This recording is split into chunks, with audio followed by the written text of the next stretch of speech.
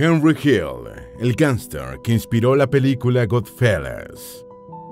Henry Hill ha sido uno de los gángsters estadounidenses más notorios, tanto por su participación en el mundo del delito, como por las consecuencias que tuvo para algunos peces gordos de la mafia cuando se convirtió en informante de la policía. Participó en dos de los robos más espectaculares en la historia de Estados Unidos, uno en 1967, cuando salió tranquilamente de la terminal de carga de la aerolínea Air France en el aeropuerto Kennedy, con una maleta con más de 400 mil dólares, y otro en 1978, cuando una información suya fue vital para que la mafia de Nueva York perpetrara el atraco de Lufthansa, el robo de efectivo más grande en Estados Unidos hasta ese momento. Precisamente este robo y su incursión en el negocio de las drogas marcaron un punto culminante en su vida y se convirtió en informante de la policía ante el temor de ser asesinado por sus compinches en el delito. En 1990 vivió su momento de gloria cuando Martin Scorsese hizo la película Godfellas, inspirada en su vida criminal y familiar, y que es considerada una de las mejores realizaciones cinematográficas de todos los tiempos. En este video vamos a repasar el auge y caída de Henry Hill, un mafioso que estuvo involucrado en impresionantes episodios criminales inspiró una famosa película. Antes de meternos a fondo, no te olvides de suscribir a nuestro canal y activar las notificaciones para mantenerte al día con nuestras actualizaciones. El robo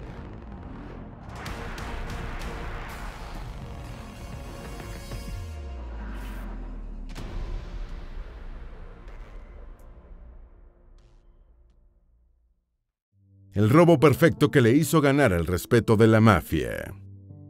El 6 de abril de 1967, un joven de 23 años de nombre Henry Hill y un chico de 17 llamado Tommy DeSimone llegaron a la terminal de carga de Air France en el Aeropuerto Internacional John F. Kennedy de Nueva York. Llevaban una maleta vacía, la más grande que Hill pudo encontrar, y un contacto que trabajaba en la terminal les había dicho que solo tenían que entrar y hacer su trabajo, ya que mucha gente iba al lugar a recoger equipaje extraviado. Hill y De Simón abrieron una puerta con el duplicado de una llave, sin ser molestados e iluminándose con un pequeño foco. Cargaron siete bolsas en la maleta y se retiraron sin incidentes. En la maleta iban 420 mil dólares. No sonó ninguna alarma, no hubo disparos y nadie salió herido. La vida no era tan acelerada en los años 60. El robo fue un jueves cerca de la medianoche y se descubrió el lunes siguiente, cuando la West Fargo llegó al Kennedy en busca de la remesa de dinero de la corporación bancaria francesa estadounidense. El éxito y la limpieza de la operación hicieron que los jefes del crimen organizado neoyorquino miraran con más respeto al joven mafioso Henry Hill. Había nacido el 11 de junio de 1943 en Bronzeville, un barrio de clase trabajadora en Brooklyn, como hijo de un electricista de origen irlandés y una inmigrante siciliana. La dislexia le ocasionó algunas peleas de patio del colegio y su desempeño escolar fue deficiente. Los mafiosos de su vecindario socializaban en una parada de taxis situada frente a su casa y Hill empezó a admirar lo que parecía ser una vida cómoda y sin apremios económicos, muy distinta a la de su padre, que trabajaba de sol a sol para sostener a una familia de ocho hijos. El mafioso más distinguido era Paul Barrio, un capo de la familia Lucchese. Un día, el chico de 11 años fue a la parada de taxis y se ofreció para hacer cualquier trabajo después de regresar de la escuela, y Barrio empezó a utilizarlo como recadero. En 1956 estaba sirviendo bebidas y bocadillos en un juego de cartas y quedó deslumbrado por las habilidades manuales de uno de los jugadores. Era James Borg, apodado Jimmy the Gent, quien empezaba a hacerse notar como secuestrador y asociado de la familia Lucchese. Borg organizaría en 1978 el atraco a Lufthansa, el mayor robo de efectivo en la historia de Estados Unidos.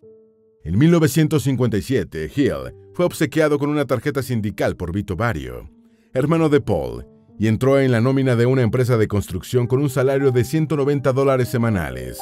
No tendría que trabajar, pero debía repartir el dinero con los hermanos Vario. Con salario y tiempo de sobre, un Gil de 14 años empezó a ocuparse de recaudar y entregar dinero relacionado con las apuestas y los préstamos controlados por la mafia.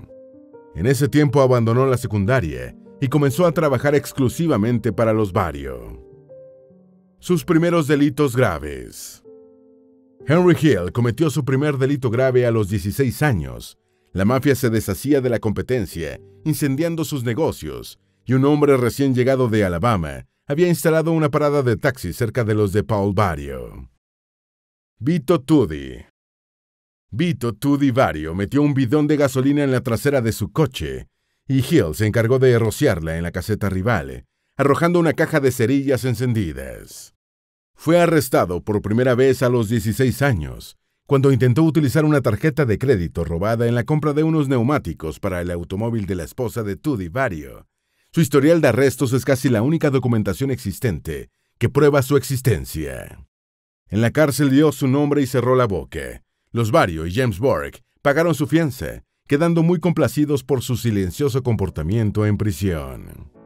Aunque de madre siciliana, su padre era irlandés, lo que cortaba el crecimiento de Hill en la organización mafiosa. Sin embargo, los Vario estaban encantados con todo el que les produjera dinero y se negara a cooperar con las autoridades. En junio de 1960, Henry Hill cumplió 17 años y se alistó en el ejército de Estados Unidos, siendo destinado a la División 82 Aerotransportada de Fort Bragg, Carolina del Norte. El mismo Hill afirmó que su alistamiento fue para evitar una posible detención. Desde 1957, el Senado y el FBI estaban muy activos en la persecución del crimen organizado y había una lista de unos 5.000 mafiosos con los que el Estado deseaba ajustar cuentas. En sus tres años con el ejército mantuvo su contacto con la mafia y realizó algunos negocios en su unidad militar, vendiendo excedentes de comida y traficando con cigarrillos de contrabando.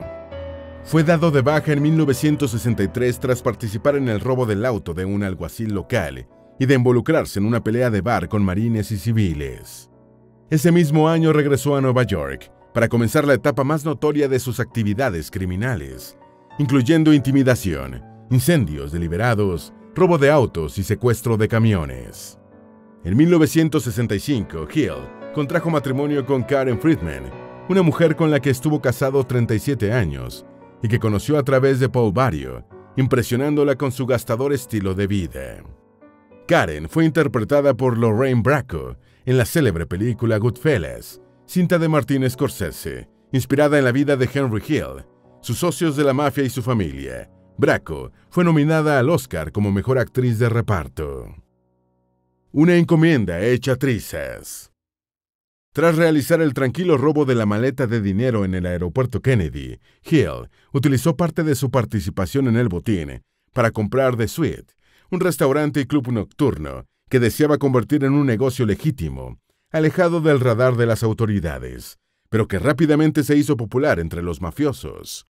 En 1970, un grupo de mafiosos se encontraba en el club Robert's Lounge, propiedad de Jimmy Borg, celebrando la puesta en libertad de William Bedbena, alias Billy Bats. Se cuenta que cuando Bedbena vio a Tommy de Simone, le preguntó bromeando si todavía lustraba zapatos. La broma no le sentó nada bien a De Simone, quien inclinándose hacia Hilly Borg afirmó, voy a matar a ese desgraciado. En efecto, dos semanas después, De Simone aprovechó una visita de su ofensor al club de Hill y lo mató personalmente, no sin antes gritarle, lustra estos malditos zapatos.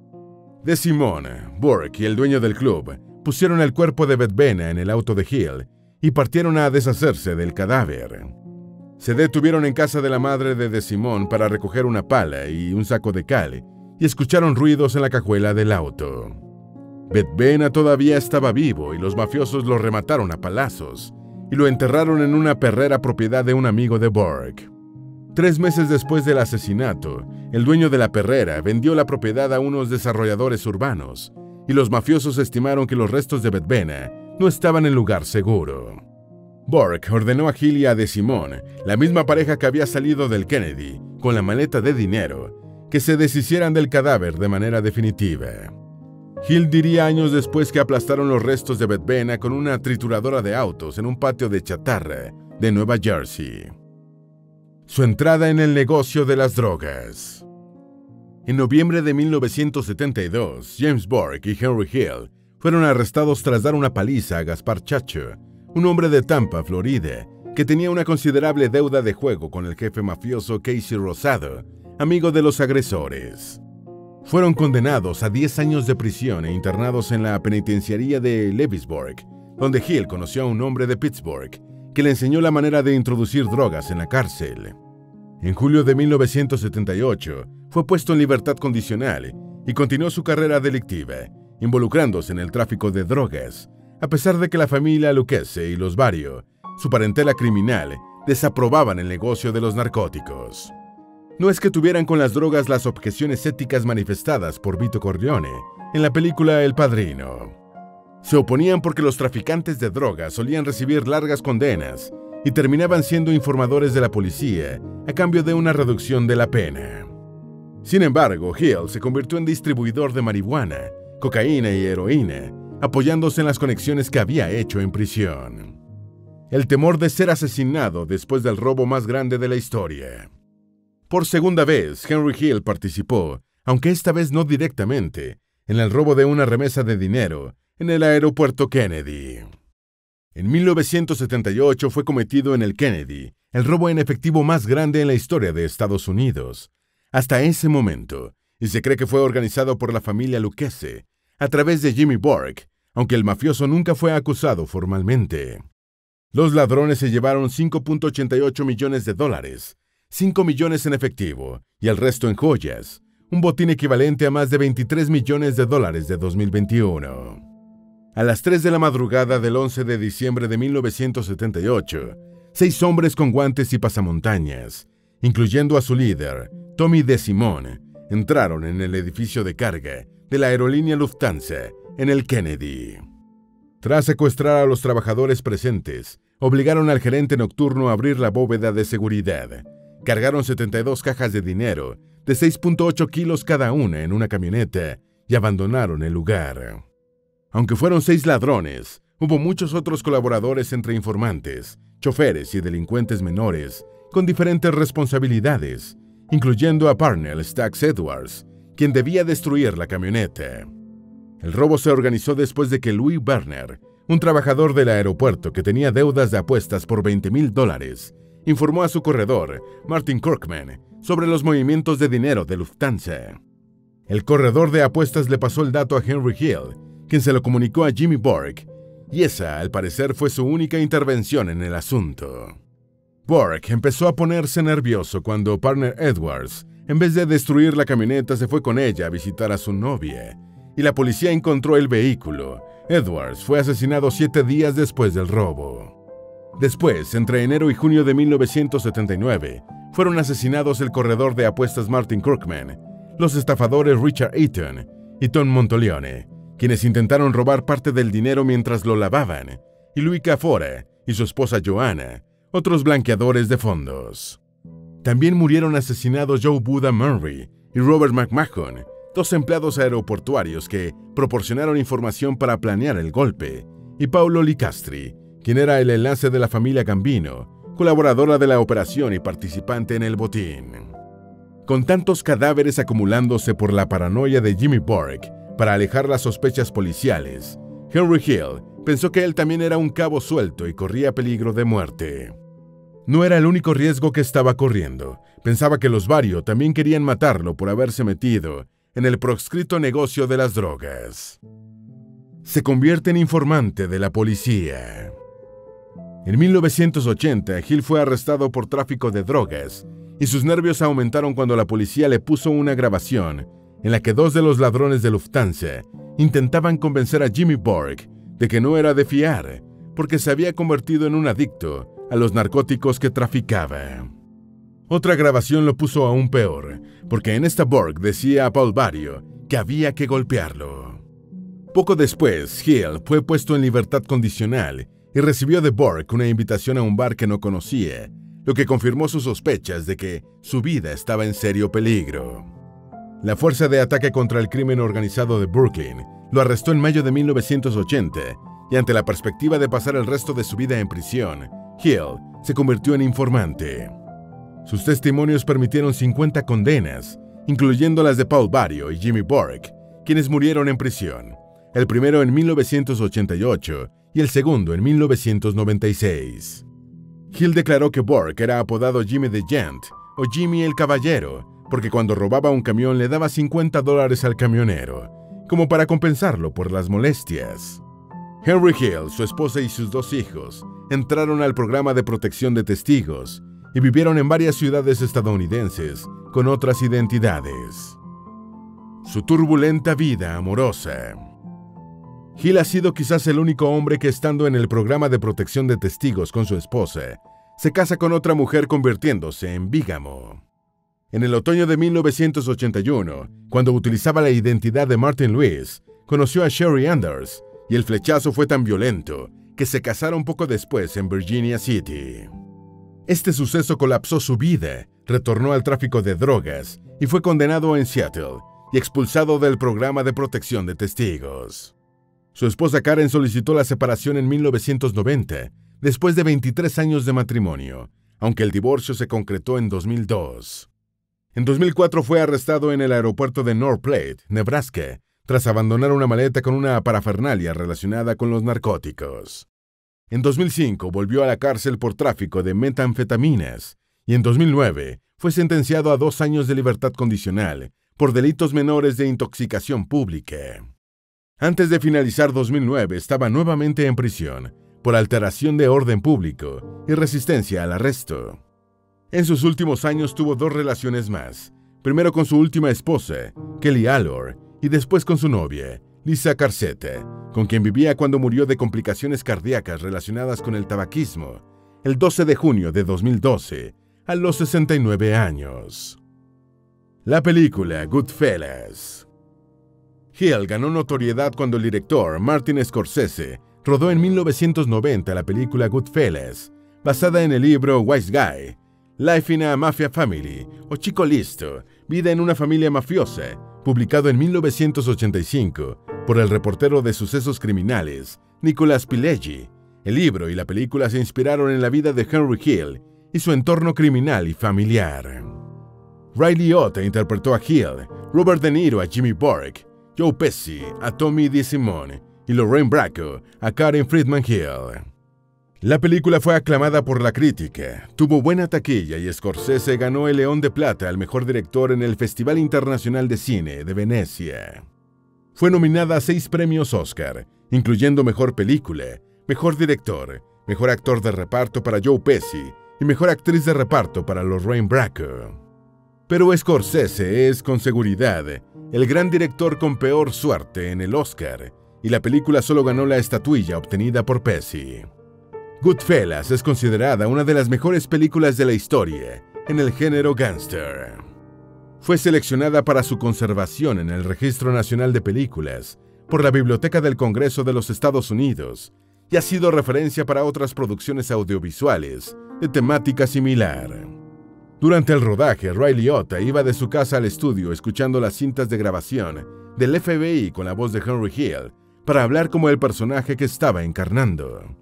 Robert De Niro llamaba varias veces al día a Hill para preguntarle cómo caminaba Jimmy Bork, cómo sostenía el cigarrillo y detalles por el estilo. ¿Habías oído de este mafioso que participó en dos de los robos más impresionantes de la historia de Estados Unidos? Curiosamente en el mismo lugar, el aeropuerto Kennedy de Nueva York. ¿Has visto la película Goodfellas, inspirada en la vida delictiva y familiar de Henry Hill? Te la recomendamos. Está disponible en Netflix y es considerada la segunda mejor película de la historia en su género, después de la insuperable El Padrino. Esperamos que este video te haya sido útil. Si tienes algo que agregar, por favor, compártelo con nosotros en la sección de comentarios. Dale me gusta a este video y envíale el enlace a tus familiares y a tus mejores amigos para que también conozcan a Henry Hill, el gángster que inspiró la película Goodfellas. Si eres nuevo en nuestro canal, no olvides suscribirte. No se te olvide seguirnos en todas nuestras redes sociales, que van a estar aquí abajo en la descripción.